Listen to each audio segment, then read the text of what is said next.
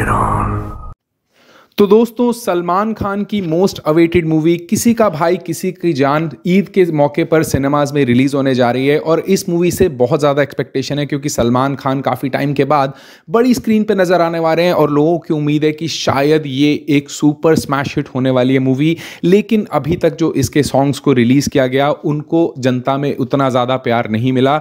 In fact काफ़ी criticise किया गया और अब इंतज़ार है इसके ट्रेलर का कि शायद ट्रेलर एक नई उम्मीद जगाएगा इस मूवी के लिए और लोगों को शायद खींचेगा सिनेमा की तरफ़। तो आपको क्या लगता है दोस्तों, ये मूवी ब्लॉकबस्टर साबित होगी या नहीं? सलमान खान के लिए मुझे कमेंट सेक्शन में ज़रूर बताना। अब बात करते हैं इस मूवी का जिसके ट्रेलर का आप लोग इंतज़ार कर रहे हैं, उसका ट्रेलर आखिर कब रिलीज़ होगा? तो दोस्तों, आज है दस अप्रैल और दस अप्रैल ही वो डेट है जिस दिन इसके ट्रेलर को रिलीज़ किया जाना है और इसका जो रिलीज़ टाइम रहेगा, वो रहेगा आज इवनिंग में छः बजे, यानी शाम को छः बजे आपको ये trailer S K F film के यूट्यूब चैनल के साथ साथ जी स्टूडियोज़ के यूट्यूब चैनल पर भी देखने को मिल जाएगा। और दोस्तों, इसकी जो लेंथ बताई जा रही है, वो तीन मिनट से भी ज़्यादा की बताई जा रही है।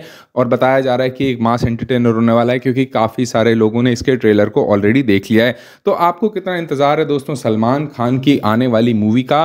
और क्या आप देखने जाएँगे किसी के भाई, किसी की जान और आपको लगता है कि ये पठान के रिकॉर्ड्स को बीट कर पाएगी और क्या फिर इसके जो व्यूज़ आएँगे यूट्यूब पे, वो पुराने रिकॉर्ड्स को ब्रेक कर पाएँगे? मुझे कमेंट सेक्शन में ज़रूर बताना। अगर आप मेरी राय पूछें तो मुझे तक सिर्फ़ सलमान खान की लुक्स के अलावा अभी तक कुछ भी इसमें खास नज़र नहीं आया है और मुझे भी इंतज़ार है इसके ट्रेलर का, जिसके बाद ही अंदाज़ा लगेगा कि आखिर ये मूवी क्या धमाका करेगी सिनेमा में। तो ये था quick update until I get back to the next video it's goodbye from Tube Talk